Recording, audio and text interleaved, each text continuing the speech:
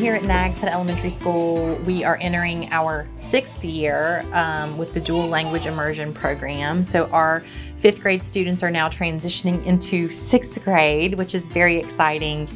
But we were very fortunate to host a DLI mini camp this summer, and it's such a wonderful experience for our children that are learning to speak Spanish. Mi nombre es Sevi.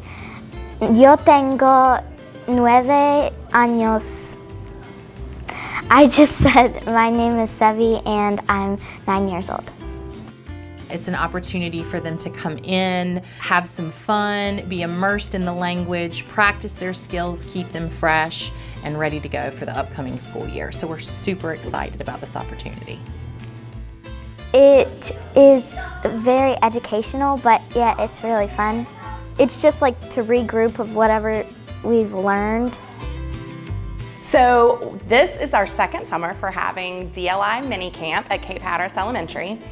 Of course we love it because we're helping our kids stay immersed through the summer, but bigger than that, Hatteras Island is a little bit isolated, as many of you know. So we are bringing the world to us. We have teachers from Costa Rica, Guatemala, Venezuela, Nicaragua, and we love that they come and not only bring their language, but also bring their culture and immerse our children in things that they have never experienced. That is one of the greatest benefits of DLI Minicamp. We are fostering and promoting uh, global awareness in our students and in our families, um, also in our community.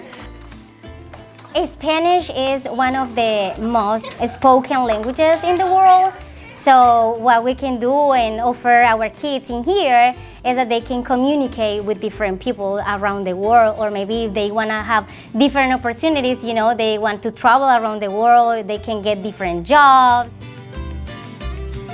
Yeah, it's good to have a fresher in the summer because sometimes over the summer you can forget some of them.